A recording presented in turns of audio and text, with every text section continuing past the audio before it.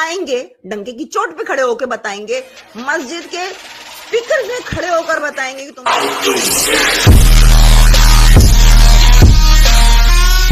इस वीडियो को like, share और चैनल को सब्सक्राइब करना मत भूलिएगा। इस काम को आगे बढ़ाने और अवेयरनेस फैलाने के लिए मुझे आप लोगों की सपोर्ट की ज़रूरत है। आप पेट्रियन ओनली फैंस या सिंपली पेपैल के थ्रू सपोर्ट कर सकते हैं। लिंक आपको डिस्क्रिप्शन में मिल जाएँगे। आपकी सपोर्ट मेरे लिए बहुत मायने रखती है।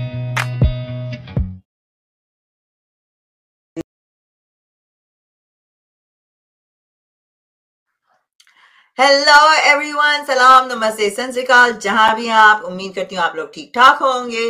आई नो मैं थोड़े अरसे से गायब थी, मगर आज मैं आपके लिए एक और बहुत मज़ेदार इंटरव्यू लेकर आई हूँ। और इवन दो मैं अपने आप को बहुत एक्स मुसलमान से उससे टैग नहीं करती हूँ, मगर मुझे ऐसे लोगों से मिलना क्या मज़ा आता है? उनसे बात करने में मज़ा आता है कि भाई, उनको ये लाइट कब दिखी? उनको क्या लगा ऐसा कि उन्होंने भी इस्लाम को छोड़ दिया?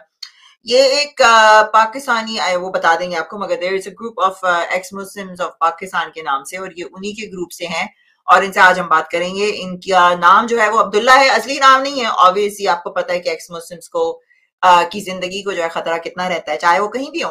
तो इस वजह से इनकी आईडी जो है वो छुपाई हुई है मगर आज हम इनसे बात करेंगे और इनसे पूछेंगे कि इनकी जर्नी क्या थी and what is it that made him leave Islam तो I would like to invite mister Abdullah add करती हूँ। जी अब्दुल्ला जी मैं आपको सलाम करूँ नमस्ते करूँ प्रणाम करूँ गुड मॉर्निंग। जो भी आप कर, करना चाहें ये तो सारी सोशल ग्रेसेस हैं। तो जो भी जो भी आपको बेहतर लगे। हाँ चले क्या हाल है आपका? मैं बिल्कुल ठीक ठाक आप सुनाइए। मैं ठीक ठाक हूँ। अच्छा तो आ, आपके साथ थोड़ी बहुत आज बात होगी थोड़ा बहुत आपके इंट्रोडक्शन हमें चाहिए फिर हम आपकी जर्नी हम्म। पे जाएँगे। तो थोड़ा सा आप बताएँ कि आप कहाँ से हैं यू you नो know, थोड़ा अपनी फैमिली का यानी प्रिसाइसली कि आपकी फैमिली से स्टार्ट करेंगे आपकी फैमिली क्या बहुत रिलीजियस थी या यू नो योर थोड़ा सा बचपना टच अप ऑन दैट और फिर हम आगे आगे एक एक करके क्वेश्चन करते हैं आपसे। जी बोल। ठीक ठीक। तो ओरिजिनली मैं तो पाकिस्तान से हूँ और तकरीबन अब मुझे कोई इस्लाम से दूर हुए कह लें या रिलीजियस स्केप्टिसिज्म स्टार्ट हुए मुझे कोई पाँच छः साल हो गए। तो फैमिली हमारी जैसे यूजुअल जो प्री डोमिनेंट एक सेक्ट है बर सग़ीर में, बरेलवी सेक्ट है तो हमारे मेरी भी वही फैमिली थी ना। सुन्नियों में से हम लोग बरेलवी सेक्ट में से थे और फैमिली एज सच कोई रिलीजियस थी नहीं ना। ठीक है, वो रिलीजन तो आपको पता है जब एक आप 90 परसेंट एक ऐसी कंट्री में हो जिसके अंदर 90 परसेंट जो है मुसलमान है तो रिलीजन की एक आपको झलक हर चीज़ में नज़र आती है। ये पाकिस्तान के सिनेरियो में तो आपको पता है कि एक ही डोमिनेंट रिलीजन है पाकिस्तान में, और वो है इस्लाम, जो कि कल्चरली भी काफ़ी ज़्यादा लोगों के अंदर रचा बसा हुआ है। और ज़ाहिर सी बात है पार्टीशन के बाद से वो वाला भी एक हिसाब किताब बिल्कुल ख़त्म हो गया, जो थोड़ी सी एक डाइवर्सिटी थी, दूसरे रिलीजन भी मिल जाया करते थे। फिर उसके बाद जो पॉलिटिकल सिनेरियोज हुए पाकिस्तान में तो वो लोग भी चले गए, दूसरे रिलीजन वाले भी, मिसाल के तौर पे हिंदू चले गए, या पारसी चले गए, या आपके जो भी छोटी मोटी कम्युनिटीज थी, जो कि इतने ज़्यादा मेजर जिनका चंक नहीं था ना सोसाइटी में। तो उन सब के जाने के बाद जब तक, जिस टाइम तक हम लोग पैदा हुए, उस वक्त तक बिल्कुल एक 90 परसेंट से ऊपर वाली सिचुएशन थी इस्लाम की। तो ऐसे ही एक माहौल में कि भाई स्कूल में भी एक इस्लामियत है और माशरे में जाएँगी, वहाँ भी एक एक पूरी तरीके से कल्चर और सारी चीज़ों के अंदर इस्लाम जो है वो रचा बसा है। तो वैसे ही मेरा भी बैक बैकग्राउंड था। लेकिन फैमिली एजुकेटेड थी तो इसकी वजह से इतनी ज़्यादा कोई स्ट्रिक्टनेस नहीं थी। लेकिन वही जो यूजुअल किस्म की चीज़ें होती है एक, एक चीज़ जो मैंने नोटिस की ना इवन सेम वे एक तो आप इस्लाम को इस्लामी तरीके से फॉलो करते हो पाकिस्तान में और फिर एक आप कल्चरली फॉलो करते हो इस्लाम को राइट जैसे कि जुम्मे की जुम्मे नमाज़ पढ़ ली रोज़े आ गए हम्म। तो चंद रोज़े रख लिए यू नो सर पे दुपट्टा ले लिया। मेरे घर में मुझे याद है कि हमारे घर में जितनी भी औरतें थी वो बगैर दुपट्टे के घूमती थी लाइक मेरी नानी तो साड़ी पहनती थी स्टफ़ यू नो वो तो अब कल्चर है, घर में भी दुपट्टा सर पे रखना है and all that is just ji continue बिल्कुल बिल्कुल, सही बात कह रही हैं आप। देखिए, हम, मैं अपने फैमिली की औरतों का बता सकता हूँ, हमारी जो वालदा वगैरह थी, या जो हमारी फैमिली में औरतें थी। तो वो चूँकि वर्किंग वुमेन थी, इसलिए ज़ाहिर सी बात है, जब बाहर निकलती थी तो वो एक खास किस्म का जो अटायर होता है। मतलब उस टाइम पे इतना भी नहीं था। अब तो ये है कि स्टूडेंट्स की जो लड़कियाँ होती हैं वो भी बगैर बुरके या बगैर अबाया के नहीं निकलती। अब मैंने ये नोटिस किया है। जबकि जब हम छोटे थे बिल्कुल बिल्कुल और छोटी छोटी बच्चियाँ बिल्कुल आप यूँ समझे ना कि एक चार पाँच साल की बच्ची है नर्सरी की एज की होगी या किंडर गार्डन की एज की बच्ची होगी वो जो है उसको इन लोगों ने स्कार्ट्स पहनाए हुए हैं या उसको अबाया पहनाया हुआ है।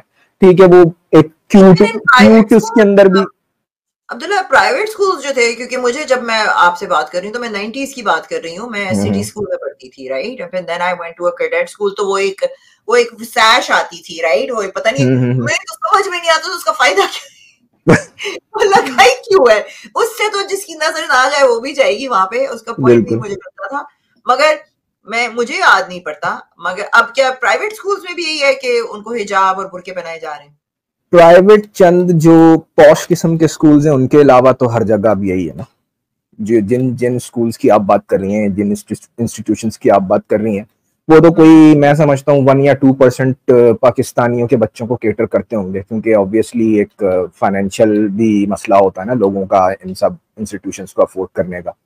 तो जो जर्नल जो लोग हैं, जो आम लोग हैं, वो ऐसे ही स्कूलों में भेजते हैं जो कि गली मोहल्लों में या किसी टाउन में या कोई बड़ा स्कूल होता है वो भी प्राइवेट होता है। तो इस तरीके से। हाँ हाँ गवर्नमेंट स्कूल भी कह सकते हैं उसके अंदर प्राइवेट भी कह सकते हैं सबका अब तो यही वो है। फिर वो एक इस्लामिक एजुकेशन वाला भी एक मसाला आया है ना कि हमारे स्कूल में जो है दीनी और दुनियावी दोनों तालीम दी जाती है। तो वो लोग भी ये वाली आ, ये वाला यूएसपी इस्तेमाल करते हैं ना कि देखो हम जो है वो बच्चों को इस्लामी तौर तरीका भी सिखाते हैं। तो वो एक इस इस किस्म की कम अज कम ग्रूमिंग हम लोगों की नहीं हुई हुई थी ना जब हम लोग छोटे थे। लेकिन अब ऐसा भी चल रहा है। तो ये सिनेरियो था उस वक्त तो। बाकी फैमिली का अगर मैं बताऊँ तो इतना ज़्यादा कोई रिलीजियस नहीं बस एक सो सो से रिलीजियस फैमिली थी। लेकिन ज़ाहिर सी बात है जो सारी एक ऑब्जर्वेशन एक पूरी एक वो होती है हम्म। जो तासुर होता है पूरा एक इस्लामी घर का वो तो मौजूद था। अच्छा हमारे जैसे एक्स मुस्लिम्स को देख कर ना फिर मुसलमान कहते हैं भाई तुम तो मुसलमान थे ही नहीं ना फ्रॉम द बिगिनिंग हाँ। ये भी बात सही है हम तो थे ही नहीं हम तो फॉलो ही नहीं कर रहे तुम्हारी तरह जिहादी थे नहीं ना हम इस से। अच्छा तो अब चलते हैं आगे बढ़ते हैं। तो आप बताइए कि मैं हर किसी से पूछती हूँ I don't know your age तो मेरे दिमाग में जब सवाल आया था मुझे याद है मैं ऐसी होंगी कोई दस ग्यारह साल की होंगी। तो कभी आपके बचपन में I am pretty sure you older than that कभी बचपन में आपके ये दिमाग में ख्याल आया कि भाई कोई ऐसा ख्याल आया होगा जहाँ पे क्वेश्चन किया होगा आपने और आपकी समझ में नहीं आया कि क्यों है ऐसा?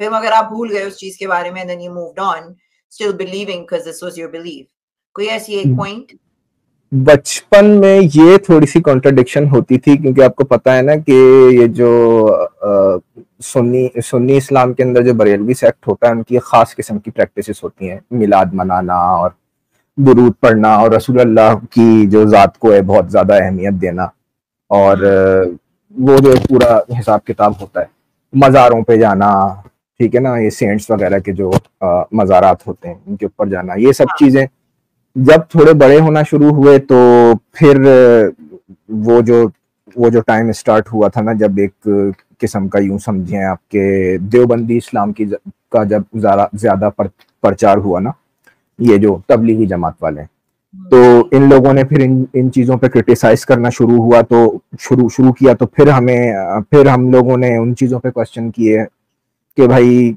दुरूद पढ़ते हुए जो है वो अंगूठे जो है वो चूम के आँखों से नहीं लगाने चाहिए और फला फला ये वो ये जो सारी निटी ग्रिटीज होती हैं इनकी आपस में सेक्टेरियन तो उनकी वजह से क्वेश्चन आए कि भाई कौन सा इस्लाम सही है? जो हम जिस जिस सेक्ट को या जिस पूरे एक, एक कल्चरल मिल्यू में हम रहते हैं वो सही है या ये जो अब बता रहे हैं कि ये गलत है दुरूद नहीं ये ऐसे नहीं पढ़ना चाहिए वैसे नहीं पढ़ना चाहिए मज़ारात पे नहीं जाना चाहिए और हम्म। वसीला जो है वो किसी और को नहीं बनाना चाहिए सिर्फ़ अल्लाह से मांगना चाहिए ये सारी इन सब चीज़ों से कॉन्फ्लिक्ट दिमाग में पैदा हुआ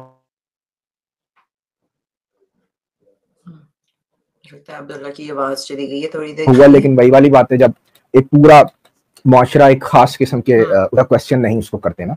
लेकिन हाँ ये बात है कि क्वेश्चंस थे थोड़ी सी कंफ्यूजन ज़रूर पैदा हुई ना दिमाग में थोड़ा सा क्या एज होगी? पैदा उस वक्त क्या एज होगी आपकी? व्हाट डू यू थिंक उस वक्त मेरी यूँ समझिए आपके कॉलेज के बाद की एज लगा लें कॉलेज की एज लगा लें। अच्छा ये अच्छा। एज हो हाँ तो तो फिर अब मुझे like coming back to the future जो आपने कहा भी आपको इस्लाम छोड़े हुए पाँच पाँच छह साल हुए राइट तो वो क्या ऐसी वो थी जिसे कहते हैं ना final nail in the coffin वो क्या थी ऐसी चीज़ जहाँ पर आपने कहा कि बस अब और नहीं मैं फॉलो करूँगा? यानी अपना प्रोसेस बताएँ कि some for some people it can take a long time चंद लोगों के लिए होता है कि छोटा सा पीरियड होता है एंड देन लीव इट तो अपना जरा ये शाम छोड़ने का जो प्रोसेस है या जो जर्नी है वो समझाइए। अगर मैं अब रिकलेक्ट करूँ तो ये जो 9/11 वाला वाकया हुआ था, उसने काफ़ी जो है ना, एक किस्म की वो पैदा की थी ना, एक अपने दिमाग में इंटरनली एक कॉन्शियस किया था कि यार ये इस्लाम जो है वो, उसको लोग इतना क्रिटिसाइज कर रहे हैं। तो वैसे तो ज़ाहिर सी बात है, आपकी एक कॉग्नेटिव डिसोनेंस होती है जब आप एक रिलीजन में होते हो, आप एक बिलीफ आप एक फेथ के अंदर चल रहे होते हो तो आपको वही सही लग रहा होता है। और पाकिस्तान जैसे माशरे में जहाँ पे सिर्फ़ वही एक रिलीजन हो वहाँ पे आपको दूसरी तरफ़ तो देखने का मौका ही नहीं मिलता ना बल्कि ना ना ही मौका मिलता और ना ही कोई अ, कहीं से आपको ऐसी कोई वो मिलती है। क्योंकि देखे ना दूसरे रिलीजन्स को यहाँ पे ज़ाहिर सी बातें अब मेजोरिटी में है अगर मुसलमान तो उनको वो वाला आपको भी पता होगा कि उनको वो वाला हिसाब किताब सोसाइटी में मिलता नहीं है ना। ना ही वो तबलीग कर सकते हैं दूसरे रिलीजन्स ना उनको तबलीग करने की वो है। तो वो जो एक पैदा होता है ना कंपैरिजन के भाई देखें कि भाई कौन सा रिलीजन सही है। वो वाली सिचुएशन तो कभी पैदा नहीं हुई। हाँ नाइन इलेवन के बाद एक बहुत जो एक पूरी पॉलिटिकल सिचुएशन पूरी ग्लोबली बनी थी और उसकी वजह से पाकिस्तान के अंदर भी जो सब कुछ हुआ। तो उसमें ज़रूर ये क्वेश्चन आया कि यार ये जो लोग कहते हैं कि भाई ये रिलीजन ऑफ़ पीस है और टेररिज्म करते हुए नज़र आते हैं और टेररिज्म फैलाते हुए नज़र आते हैं। फिर हमारी हुकूमतों के भी बीच में कनेक्शंस निकल आए और वो सारी भी चीज़ें निकल आई। उसने बहुत जो है ना, एक तरीके से इफ़ेक्ट किया ना दिमाग को कि यार ये इस चीज़ को देखना चाहिए कि ट्रू इस्लाम क्या है। जरा ट्रू इस्लाम को जाना जाए कि ट्रू इस्लाम की क्या वो है तो वहाँ से एक किस्म का कंपैरेटिव और क्रिटिकल एनालिसिस शुरू हुआ कि सच को तलाश करने की कोशिश करें। ठीक है, चलो, पैदा तो हुए थे एक फिरके में अब देखते हैं कि असल जो सच है जो असल टीचिंग्स हैं जो कि ट्रू टीचिंग्स हैं इस्लाम की वो क्या थी? तो उसी से ये सारा स्केप्टिसिज्म का प्रोसेस स्टार्ट हुआ और अब चलते चलते यहाँ तक आ गए।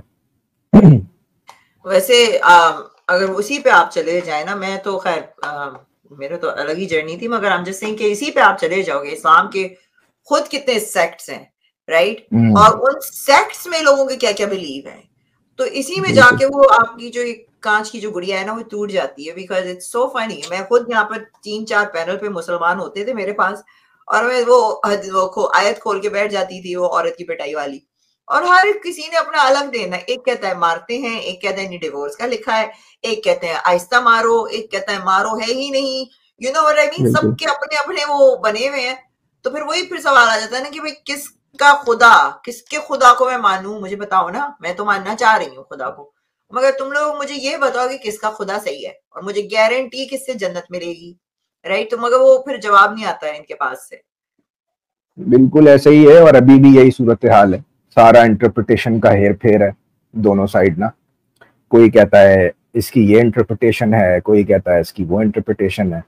लेकिन जो चीज़ मिस हो जाती है वो यही मिस हो, हो जाती है कि जब आपने एक टेक्स्ट क्लेम किया हुआ है एक ऑब्जेक्टिव बीइंग की तरफ़ से तो उसको क्यों समझ नहीं आया कि वो ऐसी लैंग्वेज में लिखे कि जो बिल्कुल क्लियर हो ना दुनिया भर के लोगों के लिए सबसे बड़ा तो सवाल ये है ना ठीक है इंटरप्रिटेशन आप करते रहो अपनी तरफ़ से जो भी आपको करनी है जैसे हाँ। ये सूरह निसा वाली आयत की करी आपने बात लेकिन बात तो ये है ना कि आपने कुरान अपना इस्लाम और कुरान का मसला ये है कि ये बिल्कुल लिटरल वर्ड ऑफ़ गॉड के तौर पे पेश करते हैं ना इसको कि ये भाई वर्ड ऑफ़ गॉड है।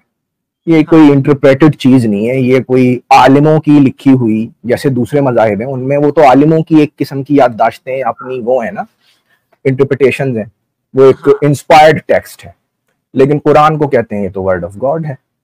हाँ, तो वर्ड ऑफ़ गॉड में हाँ वर्ड ऑफ़ गॉड में, है। एंड ऑल दैट तो अब उस दिन बात ना स्पेस पे एक बात चल रही थी। और अब ये है ना कि जब आपके दिमाग में एक सवाल आ जाता है ना तो फिर बंदा वहाँ रुकता नहीं है।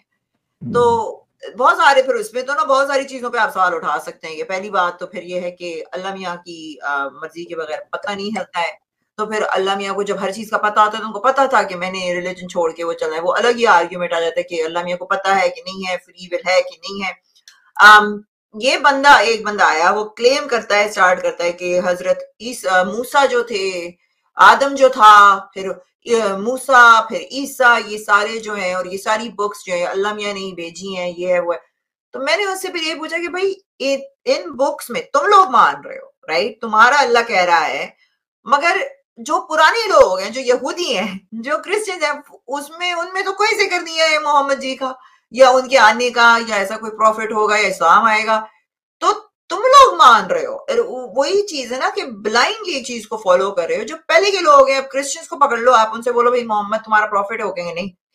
उनको तो पता ही नहीं है नो सो ये आप कैसे थोप रहे हो उनपे? और जो चीज़ पहले आई वो कैसे गलत हो सकती है? यानी कि एग्ज़ाम्पल मैं आपको दे मैंने उस दिन ये बोला था कि भाई एक खून होता है वहाँ पर एक आई विटनेस खड़ा है। वो हम्म, अपनी वो देगा गवाही राइट और एक बंदा है जो उस इंसिडेंट के होने के एक महीने बाद जाकर लिखता है उसके बारे में। किस की बात में ज़्यादा दम होगा? सो so, फिर वो कहते हैं कि आपके पास अकल नहीं है मेरे पास तो है ही नहीं क्योंकि मैं तो औरत हूँ तो मेरी तो आधी अकल अल्लाह मियाँ ने उसमें भी कंजूसी दिखाई। सो मेरे पास तो है ही नहीं। तो मैं उनसे कहती हूँ भाई इसमें भी मेरा कसूर नहीं है क्योंकि अल्लाह ने आधा दिमाग दिया मैं क्या करूँ? मगर उसी पे ज़ोर मार मार के मेरा वो आधा दिमाग भी जो है ना घूम जाता है। सो so, आप मुझे ये बताएँ कि इस्लाम में even though there so many ridiculous things उसमें एक कौन सी ऐसी बोंगी मैं कहती हूँ आपको जो हद से रिडिकुलस लगती है आपको? एक चीज़। बहुत मुश्किल होगा आपके आपको मैं एक्सप्लेन करने के लिए एक उसूल बता देता हूँ एक प्रिंसिपल बता देता हूँ।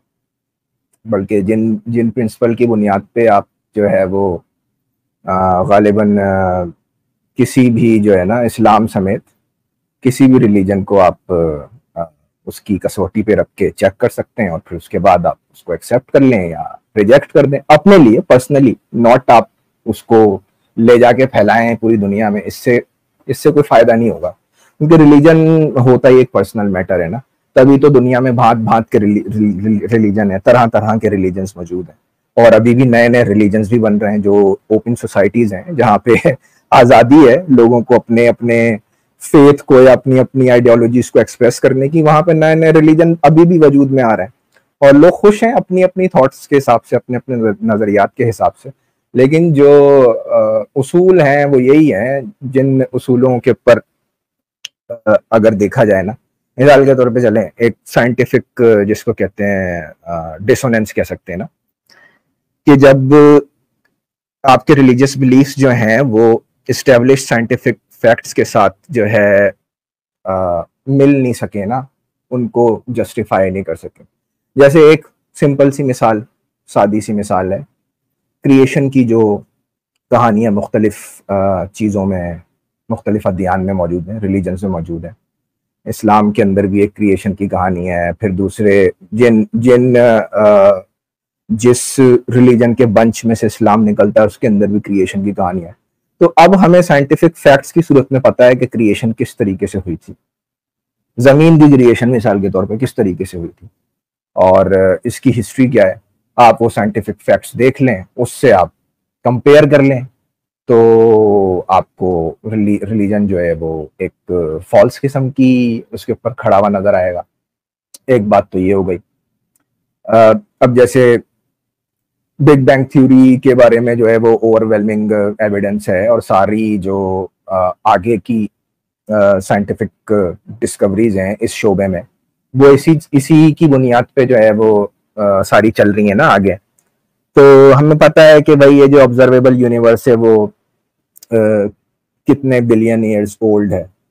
और अगर मजाहिब की डेफिनेशंस को देखें तो ये हज़ारों साल का हिसाब किताब बताते हैं कि छह हज़ार साल पहले दुनिया शुरू हुई थी या कितने साल पहले शुरू हुई थी, जबकि हमारे पास एविडेंसेस मौजूद हैं ज़मीन की जियोलॉजी के इल्म से और जो पूरी टेक्टोनिक प्लेट्स के इल्म से फिर हमें फॉसिल्स मिलते हैं पुराने पुराने उसके इल्म से। हमारे पास एक ऑब्जेक्टिव साइंटिफिक पिक्चर बनती नज़र आती है।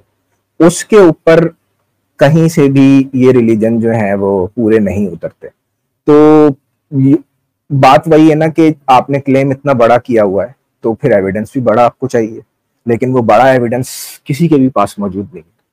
तो इस सूरत में फिर इंसान का स्केप्टिसिज्म बढ़ता जाता है कि जिस जिस खुदा को जिस अल्लाह को यही नहीं पता कि उसने दुनिया कैसे बनाई हुई है क्लेम तो किया है उसने कि दुनिया मैंने ही बनाई है लेकिन उसको पता नहीं है कि वो क्या पूरा प्रोसेस था जिसके थ्रू मैंने दर्जा ब दर्जा इवॉल्व हुई है ना दुनिया भी तो।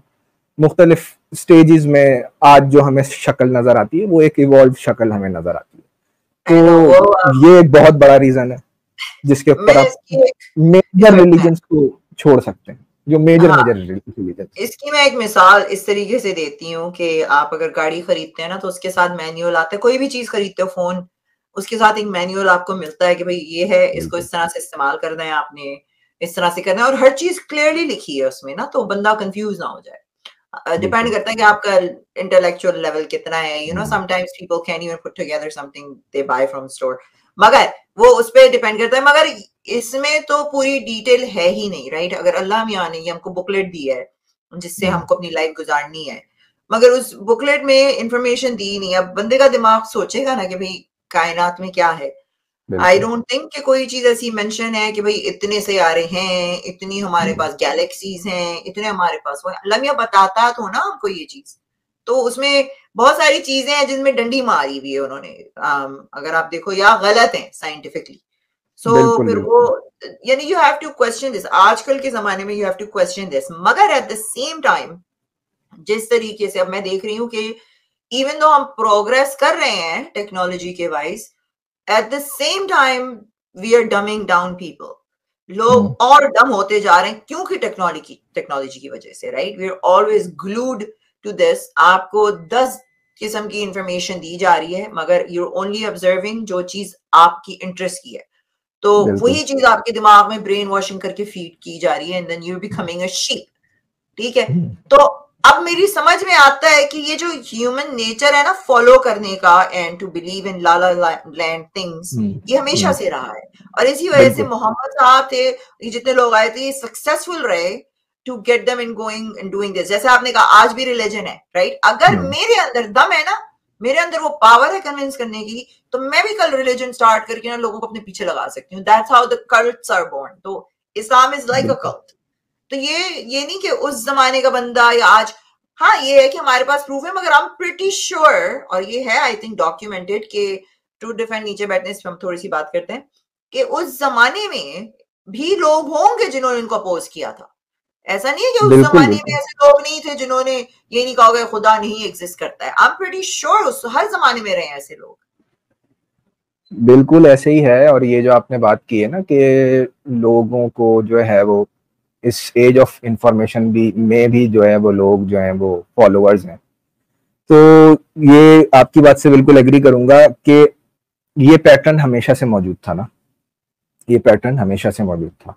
अब देखें इस्लाम के अगर कॉन्टेक्स्ट में देखेंगी आप तो रसूलुल्लाह की तेईस साल ज़िंदगी में तो वो वहीं का वहीं रहा ना वो तो मक्का मदीना में ही था। ये जो सारा कॉन्क्वेस्ट हुआ है वो तो एक पॉलिटिकल इंडेवर था या वो एक मिलिट्री इंडेवर था ना उसके ज़रिए उनका कल्चर मैं तो उनका कल्चर बोलूँगा जो लोग पॉलिटिकली मोटिवेट होके या अपनी सल्तनत को बढ़ाने के, के लिए मुख्तलिफ़ इलाकों को जिन्होंने तलवार के ज़ोर पे या आ, फोर्स के ज़ोर पे कॉन्क्वेयर किया। तो उसके साथ उनका, उन्होंने अपना, अपने कल्चर की भी एक डोमिनेंस लाने के लिए जिन बिलीफ्स को वो फॉलो करते थे, उसको भी प्रोपेगेट किया। लेकिन वैसे अपने बल पे या अपनी टीचिंग्स के बल पे तो इस्लाम नहीं फैला ना। वो तो एक पॉलिटिकल सिनेरियो में एक ताकत के उसके अंदर जो है वो फैला इस्लाम ना। तो ये सब बातें हैं और आज भी देखें मुख्तलिफ़ जैसे कल्ट्स बनती जाती हैं। चाहे वो पॉलिटिकली हो या सोसाइटल लेवल पे हो, किसी भी डोमेन में हो, लोग आपको अंधे फॉलोअर्स नज़र आएँगे ना। जैसे इमरान खान के फॉलोअर्स हो गए पाकिस्तान के अभी सिनेरियो में रिसेंटली अभी वो जेल में भी बंद है, लेकिन फिर भी उसके जो है, उस पर जान छिड़कने वाले जगह जगह मौजूद हैं, जो कि ब्लाइंड फॉलोवर्स है ना उसके। उनको उसकी कोई जिसको कहते हैं, कोई शॉर्ट कमिंग कोई पॉलिटिकल शॉर्ट कमिंग नज़र नहीं आती। वो बस उसको फॉलो करने में लगे। तो ये वाला फिनोमिना मुख्तलिफ़ तरह से तो अभी भी मौजूद है फॉलोवर वाला फिनोमिना जब हम लोग जरा कम इंफॉर्मेशन प्रोन थे, तब ये वाली चीज़ें बहुत ज़्यादा आसान थी। मिसाल के तौर पे मिडिल एजेस में, रसूलुल्लाह के दौर में, कि जिसको कहते हैं कि एक सेकंड एक सेकंड रुकिएगा ओके सो क्योंकि अभी आधा घंटा हमारा हो गया है so we are going to have two different joiners जब वो आ जाते हैं तो फिर हम उस पर बात करते हैं। मगर थोड़ा बहुत uh, इस्लाम की बुंगियों पे और आप जो बात कर रहे थे कि uh, अगर हम हिस्ट्री में जाके देखते हैं कि तो इस्लाम पीसफुली uh, तो नहीं फैला था ऑब्वियसली पहले हम्म। तो मोहम्मद जी को कोई मानता नहीं था फिर वो गए फिर उन्होंने गुंडों को बेसिकली अगर आप देखें डकेत जो थे उस वक्त उन लोगों को रिक्रूट किया है। उससे उससे मुझे आज का याद आता है कि अगर आप देखें तो आजकल कहा यह जाता है कि वेस्ट में जो सारा सबसे ज़्यादा कन्वर्जन जो करवाई जा रही है वो सब प्रिजन में हो रही है।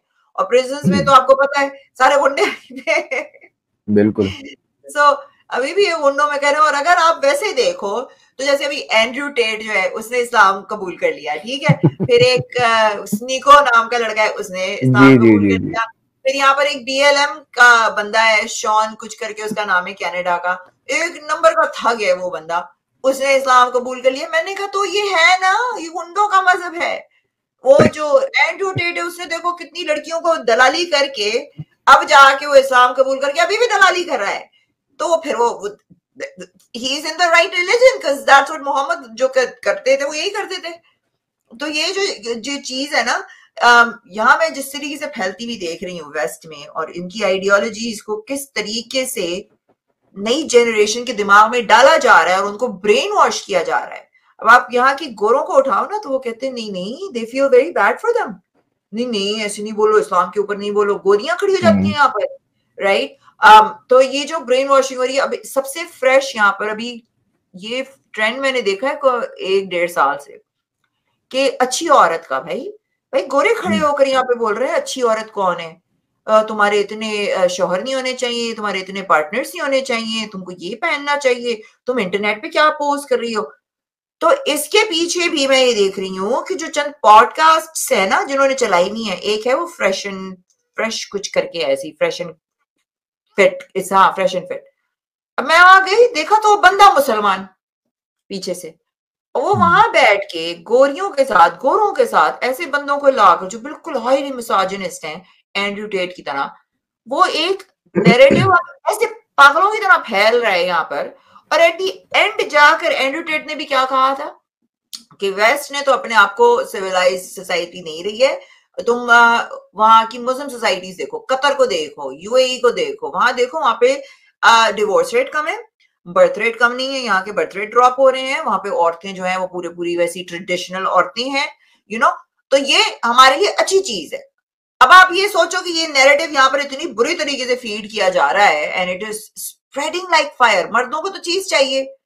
मर्द हम्म। यहाँ पे खड़े हो गए मैंने कहा यार ये तो बिल्कुल ही वो हो गया I am telling you it is very very dangerous बात जो हम लोग चल पड़े हैं इस पे। और पीछे ये सारे मुसलमान निकलते हैं यहाँ पे। बिल्कुल देखे ना ये जो ब्लैक एंड व्हाइट टाइप की जो आइडियोलॉजीज होती हैं वो ऐसे ही लोगों को अट्रैक्ट करती हैं। जैसा इस्लाम भी है ना ब्लैक एंड व्हाइट ना। खुद जो कर रहे हैं उसके ऊपर कोई नजरसानी नहीं है ठीक है ना? जिना करना गलत है मिसाल के तौर पे। यानी कि आउट ऑफ़ वेडलॉक सेक्स करना गलत है। लेकिन लॉन्डी के साथ ना निकाह करने की ज़रूरत है और ना ही इसको उस, उसकी किसी कंसेंट की ज़रूरत है। वो आपकी एक प्रॉपर्टी है तो देखें ना आप ये इंटरनल जो कॉन्ट्रोडिक्शन हैं आप किस तरीके से इसको लेके लेके चलेंगी? उसके उसके पीछे जवाब क्या होता है? भाई ये तो अल्लाह का हुक्म है।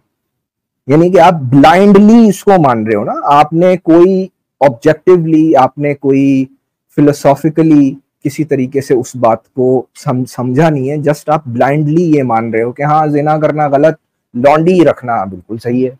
और एक से ज़्यादा भी रखना चाहिए मैं आपकी बात काट रही मेरे पास एक मुसलमान आया था एक दफ़ा उसकी वीडियो भी है यहाँ पर तो वो आके मुझे गालियाँ दे रहा था और कह रहा था तेरे साथ तो ये करूँगा मैं तेरे साथ तो हम्म। वो करूँगा तो मैंने उससे यही पूछा मैंने कहा शादी से पहले तो जिना गुना है तो कहना नहीं नहीं तुम्हारी जैसियों के साथ हलाल है यानी सिर्फ़ यही नहीं कि लॉन्डी कोई नॉन मुस्लिम्स भी हो ना तो उसके ऊपर हम्म। ये अगर चढ़ जाए तो इनके लिए हलाल है वो रेप नहीं माना जाएगा वो कबूल।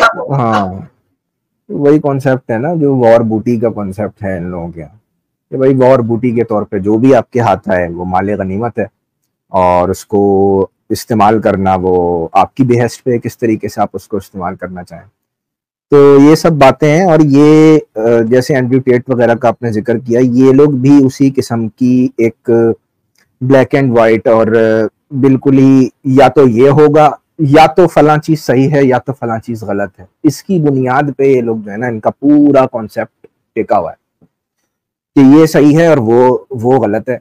लेकिन बात वही है कि वेस्ट का अपना भी कसूर है। इन लोगों को इतना अपीज किया है, इतना अपीज किया है कि इन लोगों ने एक पॉलिटिकल स्पेस बना ली है। और अब देखें, अब ये जब ये चीज़ कैसे सबसाइड होती है, क्या कोई मेजर कोई मेजर क्लैश होगा उसके बाद ही मेरे ख्याल में सबसाइड होंगी सारी की सारी चीज़ें, दोबारा से चीज़ें जो है वो रीमर्ज करेंगी ना उसमें से। क्योंकि अभी पोलराइजेशन पॉलिटिकली भी बढ़ती जा रही है, ऐसे ही लोगों का ज़ोर ज़ोर है। ट्रंप की सूरत में या जो बड़े बड़े आइडियोलॉग्स जगह जगह पे बैठे हुए पॉलिटिकली भी, वो भी इसी इसी किस्म की ब्लैक एंड व्हाइट टाइप की बातें करते हैं ना। कोई नुआंस नहीं पता उन लोगों को, कोई टेक्निकलिटीज नहीं पता। लोगों को बिल्कुल ही बेसिक किस्म के पॉलिटिकल नारों के ऊपर लगा के अपनी एक पॉलिटिकल क्लाउड बढ़ाते हैं। और और एंड्रयू टेट को आप क्या समझ रही हैं? ये एंड्रयू टेट जैसे लोग हैं। इनको पता है ना कि दो बिलियन पोटेंशियल लोग मौजूद हैं जो इनके फॉलोअर्स बन सकते हैं। अगर ये ये सब बातें करेंगे कुरान बड़ा अच्छा है और रसूल अल्लाह की ज़िंदगी बड़ी अच्छी थी। देखो वो कितना स्ट्रॉन्ग मैन था। समझ रही हैं आप? ये जो सारी बातें ये लोग करते हैं स्ट्रॉन्ग मैन वाला। ओ भाई दुबई में शेखों के साथ मिलकर आए और आपको शेखों की अयाशियाँ नहीं पता आपको?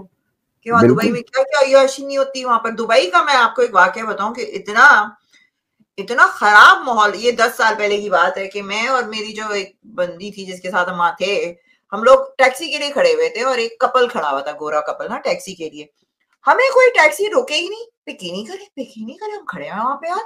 ये क्या प्रॉब्लम है? और ये नहीं हम लोग बड़े छोटे छोटे कपड़ों में ड्रेस थे वी वर ड्रेस्ड डिसेंटली तो फिर फाइनली जाकर एक बंदे ने टैक्सी रोकी हम बैठे हुए हमने कहा ये क्या बात वो उनको उठा लिया? तो कहता है नहीं नहीं वो यहाँ पर रात को प्रोस्टिट्यूट खड़ी होती है ना तो हर कोई समझता है कि तुम लोग भी प्रोस्टिट्यूट हो. फिर उसके बाद जिस होटल में हम थे दस बजे के बाद मैं नीचे गई हूँ। यार वाकई में I went to a gas station एक लड़कियाँ और जो अरबी मर्द थे अपने साथ जो ले लेके रशियंस और घूम रहे थे यानी इतना वहाँ पर है कि मैं नीचे बार में गई हूँ ड्रिंक कर रही हूँ तो बंदा आके मुझसे पासपोर्ट माँगता है क्योंकि मैं अकेले थी मेरी फ्रेंड नहीं आई। तो I just wanted to have a drink आगे कहते पासपोर्ट दो I got very highly offended मैंने कहा ये क्या बात? मैंने कहा मेरा पासपोर्ट तो ऊपर कमरे में है। तो कहने अच्छा तुम यहाँ ठहरी भी हो। मैंने कहा what did you think that I was doing here तो फिर वो कहते हैं नहीं यहाँ लड़कियाँ आती हैं बहुत और वो ये तो आ- मैंने तो ऑनेस्टली इतना देखा चार दिन में दुबई में तो ये सारी अयाशी की तो हब है। These are like known for अयाशी सो फिर वही बात आती है आप हिपोक्रेसी आपकी देखो मगर मैं एक ही कहती हूँ कि अल्लाह मियाँ हो या नहीं हो ये चीज़ तो हमको पता है कि अगर अल्लाह मियाँ निकल आएगा वो एक मर्द ही निकलेगा औरत नहीं निकलेगा पीछे से। ये तो गारंटी देती हूँ मैं आपको।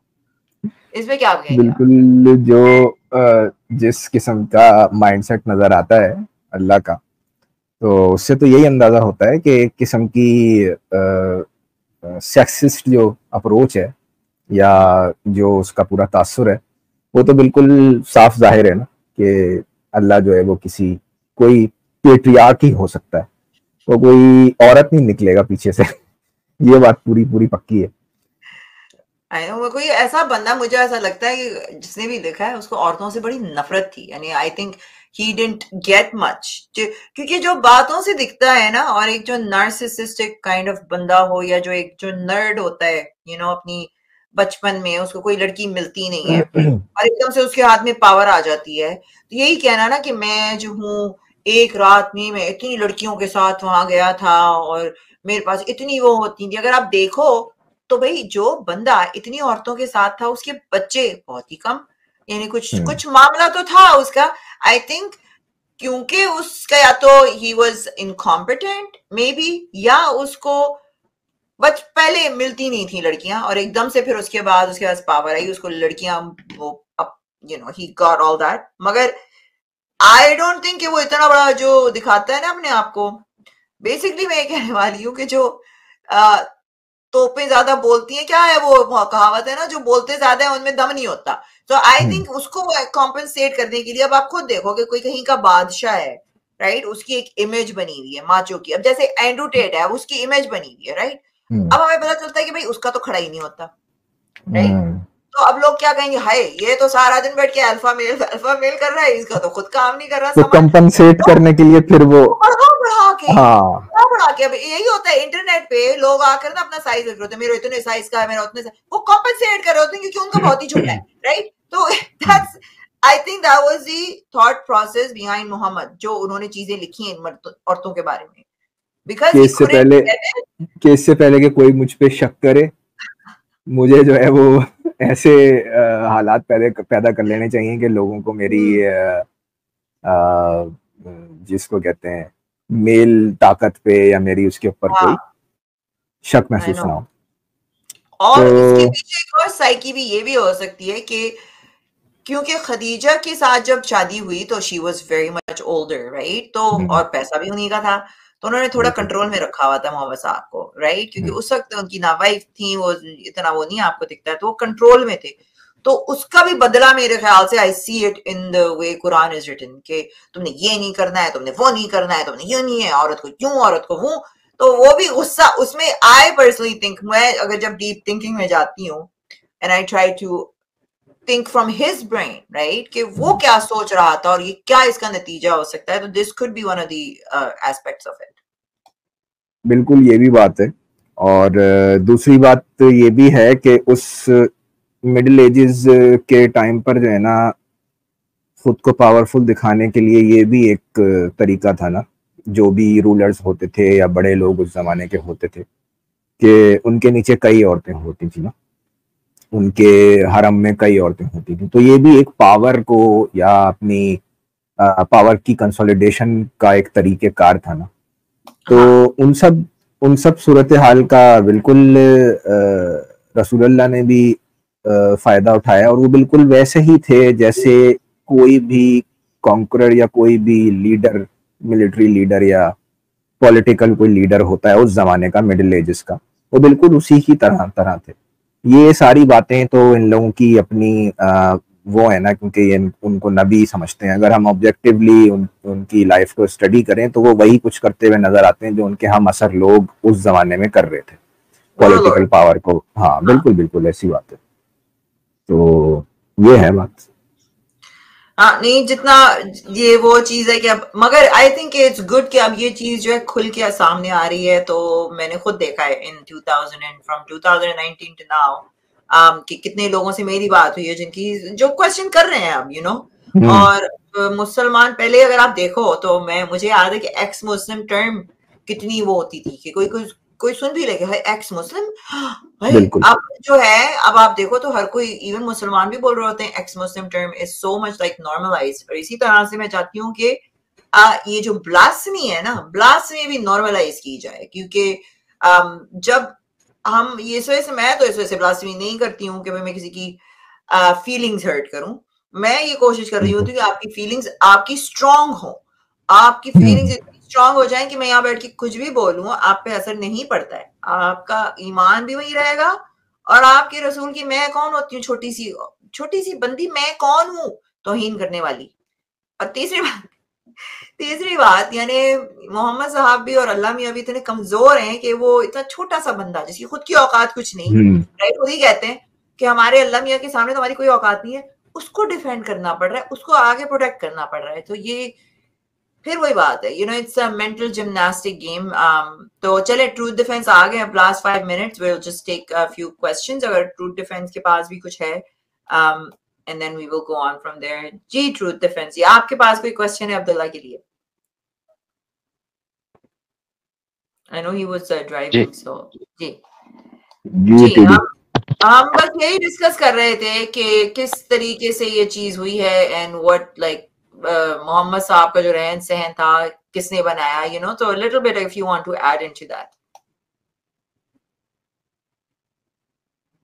जी। सो अब्दुल्ला भाई, मैं आपसे मतलब अब जैसे आप एक्स मुस्लिम हो गए हैं तो मतलब बेसिक ऐसे क्या ऐसे वजूहत थे और मतलब इस्लाम को लेके क्या ऐसे एतराज़ात थे? जैसे कोई स्पेसिफिक ऐसी चीज़ जिसको लेके आपके जहन में कभी कोई सवालात रहे हों, जिसको लेके कभी आपने एतराज़ उठाया हो तो बुनियादी कोई ऐसी वजूहत स्पेसिफिकली अगर आप बताना चाहें तो। देखिए, वैसे तो जब आप फेथ में होते हैं कि कोई सा भी फेथ हो ना, कोई सा भी बिलीफ हो आपका तो नंबर वन जो कंडीशन है किसी भी बिलीफ या फेथ में रहने की, वो मज़हब के अंदर रहने की, वो आपका वही है कि आपका एक अनकंडीशनल किस्म का ना उसके ऊपर ब्लाइंड बिलीफ होना।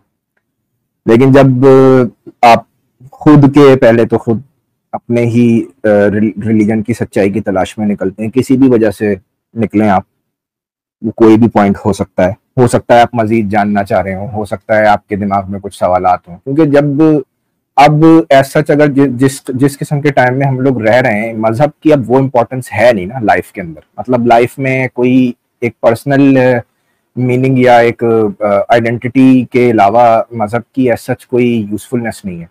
ठीक है एक सोसाइटल कोहेरेंस मिलती है हमें एक सोसाइटल सपोर्ट मिलती है एक बड़ा ग्रुप मिलता है हम आपको हम हम अपने आप को उस ग्रुप का हिस्सा समझते हैं। लेकिन जब सवाल पैदा होना शुरू होते हैं तो फिर बंदा हर निटिग्रिटीज में जा, जाता है ना उसकी। तो पहले तो मैंने जैसे अपना मालिज ने पहले पूछा था तो एक तो साइंस वाली वजह थी फिर आप इसकी हिस्ट्री में जाते हैं जब आप हिस्ट्री में पढ़ते हैं। देखिए पढ़ना और इन चीज़ों को दोबारा से देखना ना अपनी आँखों से, बजाय बजाय ये कि आप किसी की इंटरप्रिटेशन के ऊपर जो है वो ब्लाइंड बिलीव कर लें। तो आपने यानी कि एक ब्लाइंड बिलीफ छोड़ के दूसरे ब्लाइंड ब्लाइंड बिलीफ के पेडिस्टल पे आ गया। तो वो करने से बेहतर ये है कि आप अपना एनालिसिस करें। तो जब आप अपना एनालिसिस करेंगे तो आपको दर्जा ब दर्जा इसमें बहुत सारी चीज़ें ऐसी मिलेंगी। जैसे मैंने अभी साइंस वाला ज़िक्र किया था कि साइंटिफिक फैक्ट्स गलत हैं। फिर हिस्ट्री के अंदर आते हैं तो वहाँ भी मसले हैं।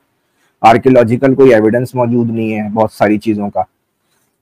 जो जो भी क्लेम किए जाते हैं इन लोगों की तरफ़ से कि आप इनका टेक्स्ट पढ़ें, जो भी ट्रेडिशनल टेक्स्ट है कि फला जगह फला जंग हुई, उस जंग के कोई निशानात मौजूद नहीं है।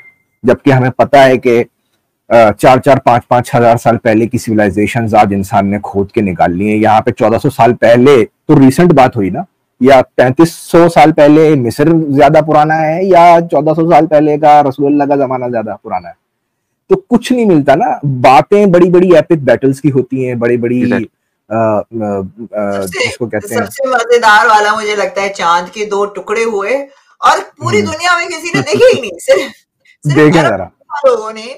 और कहीं नहीं देखा किसी ने और पूरी दुनिया में किसी ने नहीं देखा और उसके जो फ़िज़िकल इफेक्ट्स हैं आप जरा जाके कभी साइंटिफिकली देखें जो उन्होंने मुख्तलिफ़ सिमुलेशन बनाई हुई है कि अगर चाँद टूटा तो ज़मीन पे क्या क्या होगा क्या हाल है? तो मतलब एक सिमुलेशन इसलिए बनाई हुई है कि क्योंकि ज़मीन के ऊपर जो है वो एस्ट्रॉइड की बम्बार्डमेंट जो है वो चलती रहती है मुख्तलिफ़ एस्ट्रॉइड्स जो है वो आके टकराते रहते हैं और टकराते रहे हैं पास्ट के अंदर भी ना। तो अगर उस किस्म की कोई कोई सिनेरियो पैदा होता है और चाँद से कोई ऐसा एस्ट्रॉइड टकराता है जो कि चाँद को टुकड़े करता है तो उन्होंने तो उसके हिसाब से सिमुलेशंस बना के रख रखी हुई है ना साइंस साइंसदानों ने। ना तो मैं कहती हूँ कि इस्लाम तो ऐसा वो गुब्बारा है ना यहाँ से पकड़ो यहाँ बबल होगा यहाँ से पकड़ो यहाँ से यहाँ से पकड़ो यहाँ से बबल दिख कहीं भी हाँ। पकड़ोगे ना कोई ना कोई उसमें आपको ऐसी चीज़ निकलेगी that doesn't fit well with like human being of today जो हमारे पास नॉलेज आ गई है ना वो आज के बंदे की समझ में नहीं आती और मैं आपको लिख के देती हूँ बाकी बहुत सारे मुसलमानों की भी समझ में नहीं आती है। वो सिर्फ़ इसीलिए लेके बैठे हुए हैं कि भाई ये बस बिलीफ है बिलीफ है। और इनके दिमाग में मुझे ये बोला जाता था ना कि देखो ये शैतान तुमको बहका रहा है ऐसा सोचो भी नहीं ऐसा सोचना भी गुना है ठीक है ना? तो बंदा वो सोच भी रहा होता है ना तो उस पर अपनी ताले डालकर फिर वो वापस आ जाता है उसी जगह पर। So we have so many things जो यहाँ पे मैं देखती हूँ लाइक औरतों एथिकल एथिकली देखा जाए जो एथिकल कॉन्फ्लिक्ट्स हैं इस्लाम के अंदर भी और जनरली रिलीजन्स के अंदर भी वो भी एक बहुत बड़ी वजह होते हैं ना लोगों के लिए। हाँ नहीं साइंटिफिक हो जाए हिस्टोरिक हो जाए और भी पेट्रियार्कल आप उठा लो उसमें गलतियों हम्म। पे गलतियाँ पड़ी हुई हैं यार कहीं से भी खींचो। बिल्कुल ऐसे ही है। और इस्लाम कोई एक्सेप्शन नहीं है इसके हवाले से। जी। जी जी। जी। और अब्दुल्ला भाई ऑन दी अदर हैंड हम अब जैसे आपने साइंटिफिक लॉजिक की बात की कि चले आपने इस्लाम के ऊपर जब आपने अपने लेवल पे तहकीक की तो कुछ साइंटिफिक बेसिस आप ढूंढ रहे थे और कुछ वैसे ही सवाल जवाब सवाल जो थे वो आपके जहन में आते थे। तो ऑन दी अदर हैंड हम आजकल एक देखते हैं कि जो मुसलमान हैं वो इस्लाम को डिफेंड करने के लिए they have come up with something like you know the scientific miracles of Quran मतलब हम्म। कि साइंस को एक बेस और मैार बना के वो इस्लाम को सच्चा साबित करने मतलब अपनी कुरान को सच्चा साबित करने में वो एक ये नया इन्होंने नया हथकंडा ईजाद किया। तो इस पे आप क्या कहना चाहेंगे? जी। बिल्कुल देखे ना, ये इन लोगों की कितनी बदयांती है कि एक तरफ़ साइंस को कहते हैं कि साइंस जो है वो हर वक्त बदलती रहती है, ये इन लोगों का बिल्कुल पेट जो है ना, जुमला है। कि साइंस तो हर वक्त बदलती रहती है, हमारे पास तो एब्सोल्यूट इल्म है, हमारे पास तो ऑब्जेक्टिव इल्म है, जो कि तयशुदा है ना किसी सुप्रीम बींग या किसी डीएटी की तरफ़ से। तो दूसरी मरतबा जब आप उसको इतनी अहमियत ही नहीं देते तो फिर उसके हिसाब से आप जस्टिफाई करने की क्यों कोशिश कर रहे हो अपने मज़हब को? इसका मतलब ये है ना कि उसका, उसकी जो लॉजिकल या उसकी ऑब्जेक्टिवली जो बेसिस हैं साइंटिफिक प्रिंसिपल्स की या साइंटिफिक मेथड की, वो ट्रुथ तक, अब तक जितने भी तरीके हमारे पास मौजूद हैं, वो हकीकत तक पहुँचने का बेहतरीन तरीका है, जो साइंटिफिक मेथड है हमारे तो आपको करना पड़ता है। जब आप इतना बड़ा क्लेम करते हैं तो फिर उसको एडजस्ट करते हैं। ये लोग वहाँ पे मेंटल जिम्नास्टिक्स करते हैं इंटरप्रिटेशन के गेम खेलते हैं वहाँ पे कि इसका मतलब ये है तो उसका मतलब वो है। फिर लफ्जों की लिस्ट निकाल के बैठ जाते हैं। जो लफ्ज सूट सूट करता है हम्म। उसकी ट्रेडिशनल इंटरप्रिटेशन को हटा के जो कि हज़ारों साल से एक सॉलिडिफाइड एक कॉन्क्रेटाइज किस्म का एक व्यू है इतने सारे स्कॉलर्स का उस इंटरप्रिटेशन को हटा के उसकी मॉडर्न इंटरप्रिटेशन करते हैं। और अब देखें ना साइंस तो बदलती रहेगी। साइंटिफिक मेथड तो एक सेकेंड एक सेकेंड जो री इंटरप्रिटेशन की बात हो रही है ना जैसे कि औरत के मारने वाली जो आयत है तो उसको भी हम्म। जब मैं गूगल में जाके जब मैं रीड कर रही होती हूँ ना और आई नो कि बहुत सारे लोग पढ़ते हैं तर्जुमे के साथ बहुत लोग कम पढ़ेंगे अरबी किसी को आती नहीं है मगर वो चेंज कर दिया उन्होंने। वहाँ पर वो बीट नहीं लिखा उन्होंने स्ट्राइक नहीं लिखा है उसमें। तो अगर ये इंटरप्रेट करके इसको एक सॉफ्टवेयर साइट का भी इस्लाम बना देना तो I am okay with that मैं उसके हम्म। साथ भी ठीक हूँ कि भाई जो नया बंदा अब सीखेगा जो नया मुसलमान बना है उस जो आज पैदा हुआ है उसको तो ये नहीं पता चलेगा ना कि इसमें लिखा है मारो चेंज कर दिया। जैसे कि ये इन लोगों ने किया है क्रिश्चियनिटी ने they did the same thing अपना ओल्ड टेस्टमेंट उठा के फेंक दिया अब वो हम्म। जरा डिफरेंट उस पर आ गए। तो you thing is you have to reform ये एक मज़हब या रिलीजन है जो रिफॉर्म ही नहीं हो रही ना। ये तो कह रहे नहीं हमने तो होना ही नहीं है। दूसरी बात ये साइंस को जो लेकर आते हैं ये तो हम्म। कुरान को समझने के लिए इंसान को साइंस ईजाद करनी पड़ी। क्योंकि जब तक साइंस नहीं आई थी इनको खुद ही नहीं पता था कि इनको कुरान में साइंटिफिक बातें लिखी हैं। वो जब साइंसदान आके इनको समझाता है फिर ये जाते हैं फिर ये हदीसें पढ़ते हैं और ऊपर आयतें पढ़ते हैं तो अच्छा इसका ये मतलब था। तो कुरान समझने के लिए भी इंसान को साइंस इजाद करनी पड़ी डू अंडरस्टैंड ना? So this is how their brain works या वो जलेबियाँ जो बनाते हैं ये। जी चले लास्ट अपनी अपनी एक एक सर कोई बोल दे फिर then we are gonna go towards the end of the interview जी। मैं बोल दूँ? चले। हाँ तो देखें बात वही है कि शुरू शुरू में जब इंसान मज़हब या कोई भी ऐसी थॉट जो कि बचपन से उसने सीखी हो, जब वो छोड़ता है तो उसको गुस्सा भी बहुत होता है, उसको अफसोस भी बहुत होता है और बड़ी इंटरनल इंस्टेबिलिटी का शिकार हो जाता है ना बंदा। लेकिन जो लोग देखें, अब ये आजकल जो दुनिया चल रही है ना, कोई भी इस चीज़ से महफूज नहीं रह सकता। स्केप्टिसिज्म से कोई भी महफूज नहीं रहेगा। जिस तरीके की इंफॉर्मेशन की बम्बार्डमेंट है, जिस तरीके से इंफॉर्मेशन की प्रोपिगेशन है। अब देखें ना, लोग पढ़ रहे हैं तो ही छोड़ भी रहे हैं। जब तक पढ़ते नहीं थे, तब तक कोई एक्स मुस्लिम नज़र नहीं आता था, तब तक कोई मुर्तद नज़र आता था, तब तक कोई स्केप्टिक नज़र नहीं आता था।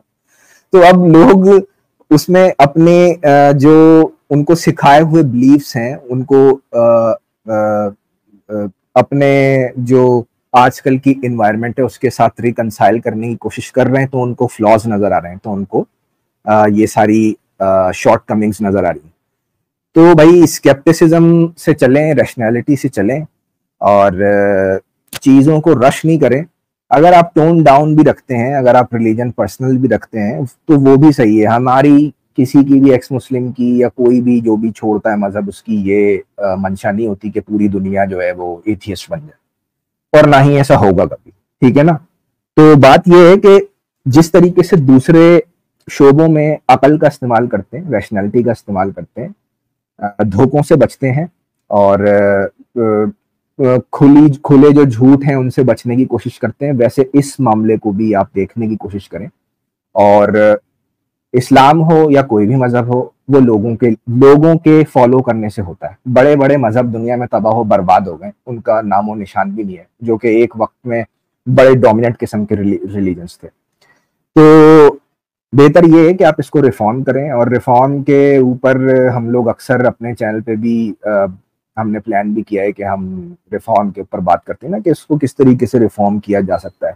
लेकिन उसके अंदर मसला ये है कि जब आपके पास कोई एग्रीड अपॉन पोजीशन ही नहीं है तो आप कैसे रिफॉर्म रिफॉर्म करें यहाँ तो हर बंदा जो है वो अपनी अपनी इंटरप्रिटेशन लेके घूम रहा है कि नहीं, तुम गलत बोल रहे हो, वो सही है। मैं जो कह रहा हूँ, वो सही है। फलाना गलत है, फलाना सही है। तो भाई इसको पहले एक नुक्ते पे लेके आए, उसके बाद रिफॉर्म पॉसिबल होगा। अगर आप चाहते हैं कि इस्लाम रहे या कोई भी आपका रिलीजन रहे तो बगैर रिफॉर्म के, बगैर प्रेजेंट वैल्यूज़ से उसको अलाइन किए आप सरवाइव नहीं कर सकते ना अपने रिलीजन को। चले थैंक यू सो मच जी ट्रूथ डिफेंस आप कुछ बोलना चाहेंगे?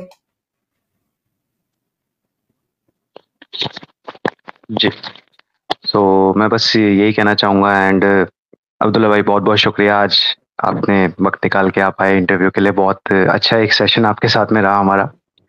बिल्कुल तो बहुत बहुत शुक्रिया आपने रिफॉर्मेशन के। हवाले से एक जी रिफॉर्मेशन के हवाले से आपने अभी एक बहुत अच्छी बात कही और अभी मतलब ये है ना कि इस्लाम में एक रिफॉर्मेशन की तो खैर हमें गुंजाइश इतनी नज़र नहीं आती टू बी वेरी ऑनेस्ट और फिर एक जो होता है ना कि अलग अलग इंटरप्रिटेशन जो हम देखते हैं जिसकी वजह से एक जो इख्तलाफ पैदा होता है मुख्तलिफ़ फिरकों में और सबके अपने अपने अलग अलग स्कूल्स ऑफ़ थॉट में तो ये एक और ज़्यादा थोड़ा एक कॉम्प्लेक्स पेचीदा सा एक कॉम्प्लेक्सिटी हाँ। बढ़ जाती है उस चीज़ की। जी। बिल्कुल। तो बिल्कुल मैं टोटली एग्री करता हूँ आपके साथ इस उस पर बाकी ये है कि जैसे कि दुनिया के दूसरे मजाहब जो हैं उन्होंने थोड़ा मॉडर्न वैल्यूज़ के साथ में अपने आप को थोड़ा इवॉल्व किया।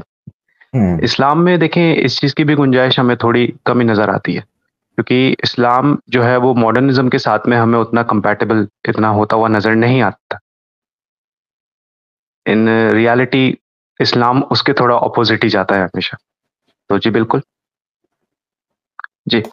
अच्छा मैं इनकी तस्वीर देख रही थी अब्दुल्ला जी ने जहाँ तस्वीर लगाई हुई है मैंने कहा यार डेटिंग प्रोफ़ाइल पे कोई ऐसा बंदा मुझको दिखे मगर उसने फिर लिखा हुआ और यही पहना हुआ अब्दुल्ला नाम मुझको दिल पे पत्थर रख के उसको स्वाइप लेफ़्ट करना ही पड़ेगा कि भाई मुझे पता है इसकी मेंटालिटी क्या निकलनी हम जब नो ऑफेंस मगर मैं जब बहुत ही खूबसूरत गे मर्दों को भी देखती हूँ ना तो मैं कहती हूँ यार what a waste of a man इसी तरह से मुझे यहाँ भी बोलना चाह रही what a waste of a man seriously चले थैंक यू एवरीबॉडी चले थैंक यू अब्दुल्ला जी आपने अपना इतना टाइम दिया. आ, तो नेक्स्ट टाइम आपसे ज़रूर बात होगी. आई होप के लोग इससे सीखें और आगे बढ़ें. थैंक यू ट्रूथ डिफेंडर जी. आप भी एंड साहबी जी आप भी. तो थैंक यू बहुत शुक्रिया सब लोगों का जी बहुत बहुत शुक्रिया. थैंक यू अच्छा so thank you everyone so much for coming and joining I hope कि आज का जो वीडियो है, इसमें किसी का दिल दुखाने की बात नहीं थी। प्लीज़ अपने दिलों को फीलिंग्स को जरा थोड़ा काबू में रखा करो, ठीक है? तो इसमें कोई दिल दुखाने की बात नहीं थी, सवाल पूछे हैं हमने।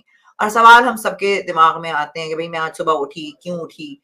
ठीक है? बाहर दिन हो रहा है, क्यों हो रहा है? आज रात हुई है, क्यों हो रही है? ये क्यों जो है ना इंसान को, ये क्यों हमको यहाँ तक लाया है कि आज मुझे आप बैठ के इस तरीके से देख रहे हैं? अगर ये क्यों नहीं होती ना इंसान के अंदर तो ना आपके पास गाड़ी होनी थी, ना आपके पास ये कुछ भी नहीं होता था हमारे पास। हम बंदरों की तरह बैठे हुए होते, वो भी बैठे हुए होते, वो भी पता नहीं कहाँ बैठे हुए होते। So the thing is critical thinking सवाल पूछें और सवाल अगर आपको ऐसा लगता है कि आप उससे वो हो रहे हैं तो छोड़ के चले जाओ या यू नो वट इन्होंने जैसे कहा कि रिफॉर्म करने में गुंजाइश नहीं है नहीं है, मगर फिर भी जब हम मरोड़ तरोड़ के साइंस निकाल सकते हैं कुरान में से तो भैया हम यूँ मरोड़ तरोड़ के उसको रिफॉर्म भी कर सकते हैं। It's just you know if there is a will there is a way anyways guys जाने से पहले इस वीडियो को लाइक शेयर और इस चैनल को सब्सक्राइब करना मत भूलिएगा। And I will see you in my next video so thank you and take care bye के थ्रू सपोर्ट कर सकते हैं। लिंक आपको डिस्क्रिप्शन में मिल जाएँगे। आपकी सपोर्ट मेरे लिए बहुत मायने रखती है।